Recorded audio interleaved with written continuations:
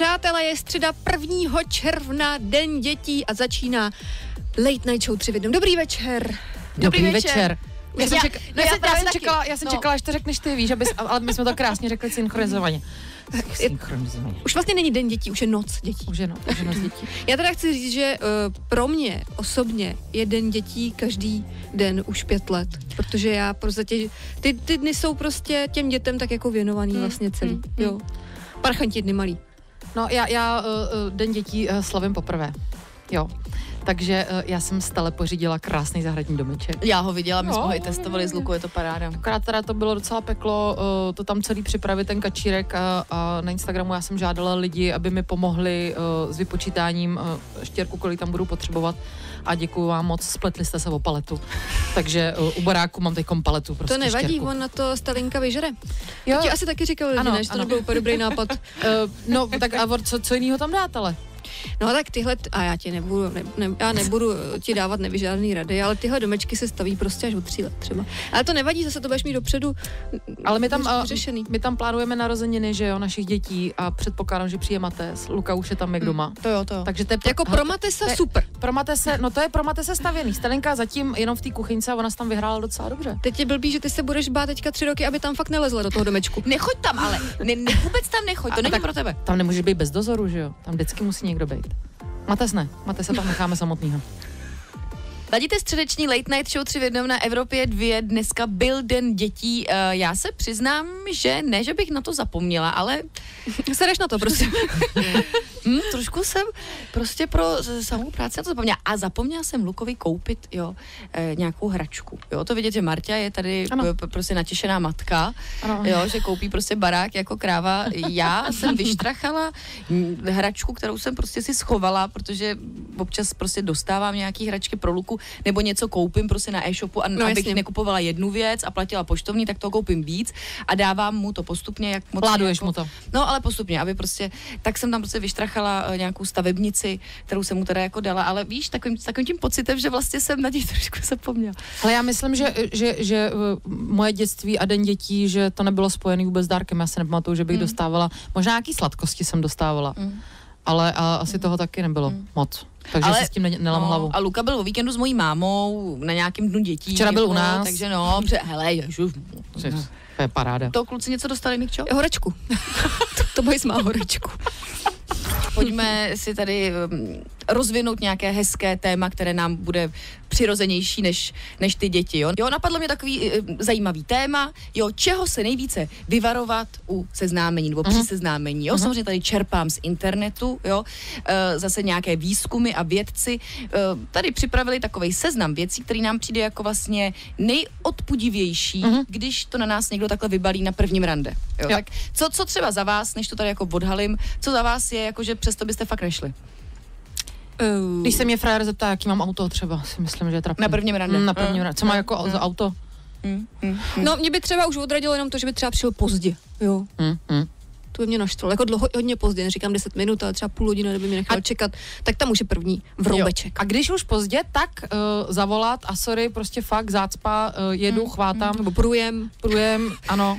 Je pravda, že můj muž přišel na naše první rande, jakože rande ve společnosti jak nějakých lidí, že jsme šli na večeři a přišel teda pozdě, Hmm. o docela dost, asi o 20 minut, eh, samozřejmě se omlouval, Mm. říkala jsem si jo, tak prostě stane se.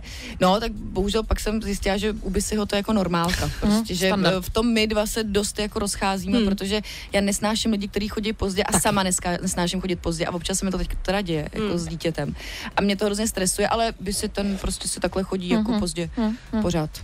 Tak kdyby vás zajímalo, co dalšího nejodpudivějšího eh, se vám může přihodit na prvním rande a jaké vlastnosti nechcete jo, u partnera eh, vidět na prvním rande, tak poslouchejte dál Evropu 2. Stále ladíte noční show 3 v jednom eh, na Evropě 2 a Verče tady má pro nás seznam nejodpudivějších věcí, které Mm. které se nám můžou stát na prvním randátku. Mm, jakoby vlastně jsou to hodně jakoby flirtovací taktiky, Mhm, jo, s kterými si vlastně někdo myslí, že když je takhle jako ukáže a projeví, že to bude výhra a ono to je naopak. Takže prosím vás, podle nějaký poslední tady studie se prokázalo, že nejvíce odpuzující bylo označeno sliské až dotěrné chování.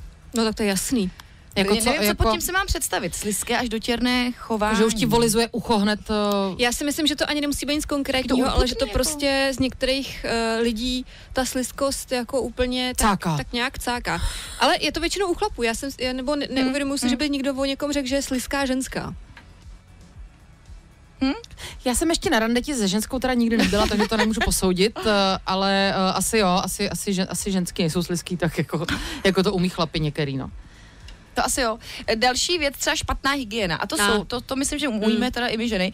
Uh, ano, dovedu si představit, když na rande uh, mu smrdí z úst nebo má špinavý nechty. Smrdí potem. Uh, smrdí potem, že to jakoby asi o mnohem a nebo, povídá. A nebo může být třeba i čistotný, ale má nadměrný pocení. Já jsem tenkrát, už jsem to hmm. tady říkal několikrát, jsem byla na, na randeti a, a, pán byl asi o dvě hlavy vyšší a, a jak se mnou mluvil, tak mu furt kapalo z čela a na kapalo nos. to na tebe? no, skoro jo, takže jsem tam furt vytahovala ubrousky a furt se mu je podávala. Je, je. A to mi navaluje. To teda jako bylo strašně příjemný chlap, pěkný, všechno, ale tady no s tím jo. teda ale vy jste, Marto, šli do tajské restaurace a když si dáš pálivý jídlo, tak se prostě víc Pozor, potíš. pozor, to jsme ještě nejedli, to jsme ještě nejedli, my jsme čekali na vás.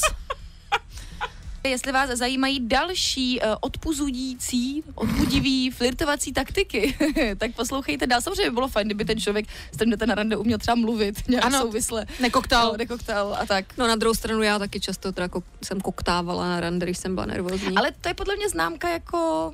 Že se ti ten člověk mm. líbí. A že jsi z něj nervózní mm, vlastně. Mm, mm. Mm. Já, já hodně jako uh, čumím všude po, po, po, po celém prostoru, po celý hospodě a... No ale to si ten chlapec pak může vylo, vyložit tak, že vlastně oni nemají zájem. Že jo? jsem debil trošku. Že... Ne, že koukáš po ostatních. Ne, jako nekouk, já, ne, to je takový ten neurčitý, jako by, jako koukáš ne na určitý věci, ale vlastně jako... Uhybáš pohledem prostě. Uhybáš pohledem, pokud se na tebe jak tak to Martě vysvětluje vlastně tvůj pozdí věk materství a, ano, ano. to, že jsi z Pepíka našla až teď. No, tam, jsem udr- takhle... tam jsem udržela kontakt, ne, že bych z něj nebyla nervózní, ale, ale přece jenom jsem si říkala, že jsem starší žena. No jasně, že... zajíc, měl by byste být Přesně. nervózní on, že jo? No, nebyl, no. ještě pořád tady probíráme nějaký trapný situace na prvním rande a věci, které jsou pro nás nevydýchatelné, jo, mm. podle mm-hmm. výzkumů a odborníků. Mm-hmm. Takže po dotěrném chování a špatné hygieně je to samozřejmě i zájem o více osob najednou. Což možná je, Marťo, ono to, jak si říkala v předchozím vstupu, že čumíš po jako ty nečumíš po jiných lidech, ale že zájem jako o jiný lidi, jakože co, že ty půjdeš na rande s Marťou, ale budu celou dobu no. mluvit o Nikče třeba. Jo, asi si myslím, no, no, jo, no, že budeš hmm. třeba mluvit celou dobu o svém bývalém asi, anebo jo. o tom, ježiš, tam ten kluk, ty, to má pěknou prdel, viď. Jo, Akorát jo. on s tebou asi nebude úplně souhlasit, ale asi, asi... No, kdyby souhlasil, tak je tam špatně. no, tak možná, kdyby... Hm. Potom určitě nechceme na prvním rande hrubý slovník. Jo, to, je. To je... Ty vole, tak to jsem v prdeli. no, tak hrubý, tak já, já se hlídám samozřejmě třeba na prvním raně, děti to nepozná. Třetí, čtvrtý už se začnu projevovat trošku, no buď to vydrží, nebo to nevydrží. Ne, já nejsem moc prostá. Marťo. No tak já říkám jako ty vole, ale jako ne, ne, nemluvím. Ty vole, ty čuráku zvadlej. No, kokoté, kokoté. Holky dost. ale to neříkám přece před, před ne. jako na randeti, no, že jo? No, ne? Ne, na já, ne, já jsem s tebou vlastně na rande nikdy nebyla. Ne, takže... Na rande ti ne, ne, ne, ne, ne. Ale vím, že po pár pivech jako jo, jsi taková familiární. Ale to je ve společnosti jako a, a, od toho člověka nestojím, že jo, tak mi je to jedno, já si před ním můžu mluvit, jak chci. Ono často teda to svádí k tomu s prostým, že máš pocit, že jako prolomíš ledy, když mm, jako začneš mm, trošku, mm, ne? Je, ukaž. Ale on mm. asi to není úplně pro každýho, no. No, to není, no. Pak nám samozřejmě vadí na prvním rande i uh, hrubý slovník. No ježiš, to mě jo? tak strašně, to jsem úplně říčná z toho. To Marta prostě, na to citlivá. To já pravda. jsem na to hodně citlivá, jo, to prostě, to prostě nemůže být. Jako chápu, že občas to ujede, jo, asi u nás, že by mělo méně než u těch eh, chlapců, ale i tak si neumím moc představit, že bych seděla na, na, na prvním rande a chlapec byl jedno vole za druhým a mm, mm, jako mm. sypal by jedno z prostý slovo za druhým taky. Možná má člověk jako občas takovou tendenci, aby prolomil nějak ledy, že třeba se začne jako vyjadřovat víc familiárně, jo. Mm, mm, mm. Uh, řekne prdel nebo tak něco. Ale samozřejmě to není pro každý. Já myslím, že chlapi to nemají rádi úplně. Já si myslím, že spíš tak, jako princezny. Taky, no, mm, nejradši. Mm, třpitky a tak. Oni, oni pak ty, ty zprostý slova podle mě mají rádi někde jinde. Ně, no, někde jinde. Ne? A kde? Třeba v posteli, ne? Jo. tak to nevím. tak no. Řekni to, Martinko. Řekni to. Posloucháte tři v jednom na Evropě dvě. Řek, co ještě no, stalo? No, no pro, probíráme tady jakoby ty nej, nejhorší vlac, věci, které se ti vlastně můžou stát uh, na randeti, tak co je pro mě absolutně odpodivý a co teda nesnáším, uh, i když jdeš třeba s nějakou uh, kámoškou, kterou moc, jako není to úplně jako vy, ano, ano. ale uh, já jsem byla na randeti a on pokaždý řekl nějaký vtip, tak jsem dostala hordu dozad. Víš, takový, Když ty jsi řekla vtip. No, nebo když jsem jakoby řekla něco rádoby jo, vtipnýho, mm-hmm. což pro mě moc vtipný úplně nebylo, on se začal chlámat, tak idiot, přitom jsem se koukala jako okolo, říkám, hm, dobrý. No mě a... obecně, i když třeba tě takhle jakoby jenom položí ruku na stehno, nebo něco takového, nebo když to tebe třeba loktem, tak jako aha, já no? to byla alergická, jako na nějaký takovýhle letní... Já tu ruku na stehno teda občas jako dávám. Jako, no, ale počkej, já ti ukážu, jak jo, takhle. Jo, jo jako jo. plácnout. No, hmm. jako no a, ale takový to do ramene, jak dostaneš tu hordu, že, no. že, že druhou chytneš v obar. A ono i takový to tohle. Jo, jo, jo. jo. Vy, vy to posluchači samozřejmě vidíte dobře, ale jenom bych to popsal jaký poplácání Jakoby, třeba po, po ruce nebo ano, po předlučí. Jakmile je to cokoliv, co spíš zavání kamarádstvím nebo takovým jakoby nějakým dotekem kamarádů, než jako mileneckým nebo sexuálním, tak je to jako samozřejmě nebo, divný. nebo ještě, hmm. ještě chytne za tu tvář a takhle tě štípne, takhle tě sní za... Aha, tak to se mi nestalo. Martě, bylo to no, bylo to, situaci. Bylo to divný prostě.